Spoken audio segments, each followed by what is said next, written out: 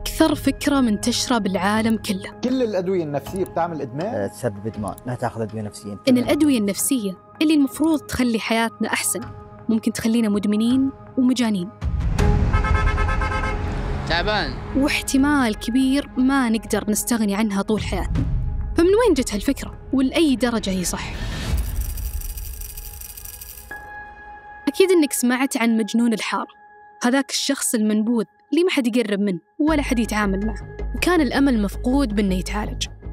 مسألة وجود مجنون الحارة هذه هي مسألة موجودة وقديمة وفي كل مكان بالعالم.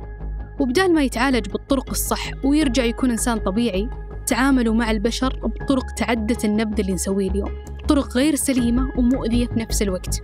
وكل هذا كان يصير مع أي شخص كان مضطرب نفسيا قبل القرن العشرين. لكن تحديدا في فترة الخمسينات بدوا الأطباء النفسيين يعالجون هالحالات طرق جديدة ومستحدثة واللي هي عن طريق الأدوية مواد تقدر تعالج وتحل تعذيب المرضى وتحفظ كرامتهم والأهم من كل هذا إنها تساهم بأنها ترجعهم لحالتهم الطبيعية لكن هذه الوصفة ما كانت سحرية بالدرجة الكافية لأنها مع الوقت تحولت لكارثة كبيرة when improperly used, can be just as dangerous as taking dope. It is a deep. ففي الستينات بدأت شركات الأدوية الأمريكية تنتج عدد كبير من الأدوية النفسية المهدئة والمضادة للقلق وتبيعها وتروج لها بالتوازي لربات المنازل. تقول في إعلاناتها ترى ذا العلاج يقدر يخلي مشاعرك أحسن. فهم بهذا الأسلوب مو بس خلوا الأدوية النفسية تعالج الأمراض إلا أنهم راحوا لمشاعر الإنسان الطبيعية مثل تقلبات مزاجه انخفاض أدائه ومسألة عدم رضائه عن نفسه وعلاقاته. وخلال فترة قصيرة من هالدوامة التسويقية وصار جزء كبير منهم مدمن على هذه الأدوية. قبل لا يروح بالك بعيد وتحس إن الأدوية النفسية فيها مشكلة أو إنها ممكن تخليك مدمن أو يصير فيك مثل اللي صار بالستينات. المجال النفسي أعقد بكثير من اللي نتوقع وخلنا نمشي مع هذه التعقيدات ونحللها واحدة واحدة. بالبداية الأدوية النفسية اللي ممكن تسبب إدمان نسبتها قليلة جدا ما تتعدى العشرة بالمية. هذا الشيء مطمن بدرجة كبيرة وبقول لك ليه. في حال وصف أي دواء نفسي للمريض يكون قدام خيارين يا أما يجمعهم كلهم أو يستخدم واحد منهم.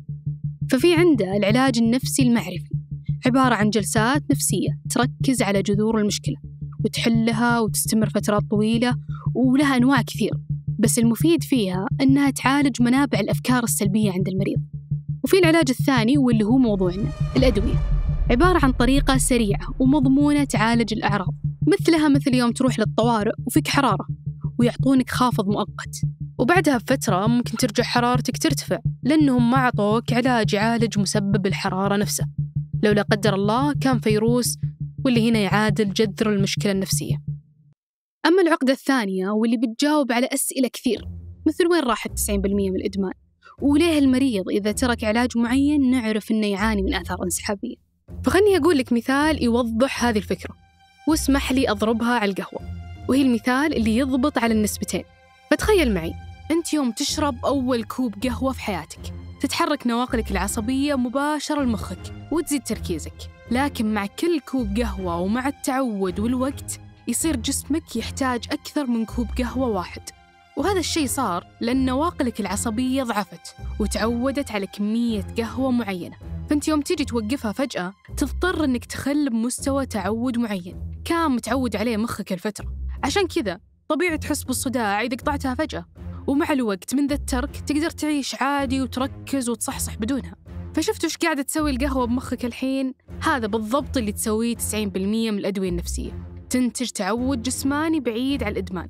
فهي تحفز النواقل العصبية لمناطق ثانية غير التركيز اللي بالقهوة. وتروح المناطق مسؤولة عن معالجة التشتت أو شعور الاكتئاب أو غيرها. فلو وقفتها فجأة طبيعي بتحس بالآثار الانسحابية. ونفس مثال القهوة يضبط بعد على العشرة بالمية من الأدوية اللي خلقت كارثة أمريكا. وممكن تخلي الناس تخاف من فكرة إدمان الأدوية. فإن بعض الأدوية النفسية وقليلة جدا. تخليك بعد ما تاخذها تحس بشعور النشوة وشعور حلو أكثر من الطبيعي.